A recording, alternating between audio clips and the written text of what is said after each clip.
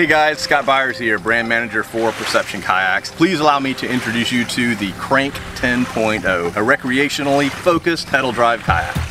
On the bow and the stern of the kayak, we have a one-piece rigid handle. Just behind your bow grab handle, you have bow storage area with bungee lashing. Inside of this same area, you also have a scupper. The scupper goes through the kayak, molded all the way through, and then on the hull of the kayak, there's a nice recess for your fish finder. The heart and soul of the Crank 10.0 is the pedal drive unit itself pedal drive is optimized to give you the best performance with the whole shape of this kayak. From a pedal position, you can easily move the pedal drive into a zero draft position. Simply remove the quick pin, push the pedal drive out of the way, and reconnect.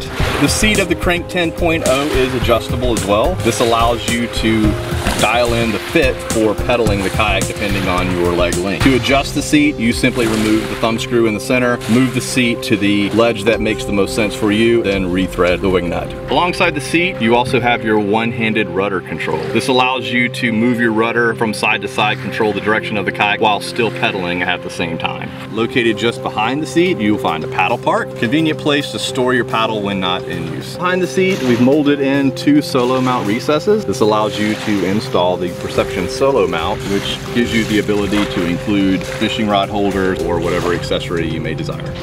Last but not least on the Crank 10.0, we have the large stern tank well. This allows you to store additional accessories or additional gear within arm's reach. Inside the tank well, you will also find our deck plate. This gives you quick access for storage. Crank 10.0, new for Perception Kayaks, launches fall of 2019.